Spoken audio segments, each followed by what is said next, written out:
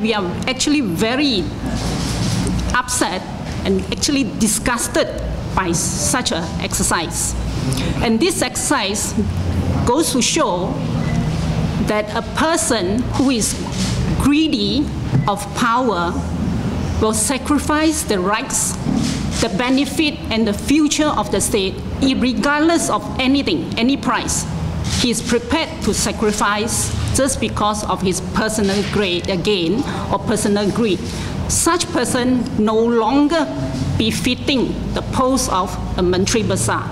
I, I also echo the uh, views of the rest of the speaker that this person should immediately resign from his office.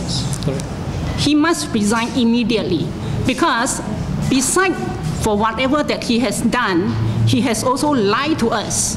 Because on the 12th, on the 12th, he said he has sent a letter seeking the removal of the six uh, EXCO members. But on, the ground that these six EXCO members had actually signed a declaration. But in actual fact, that letter seeking removal of these six EXCO member was sent prior to the decision made by PKR and DAP.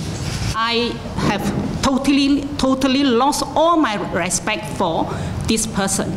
Therefore, I think he has no longer the right and he does not deserve to sit on that post anymore.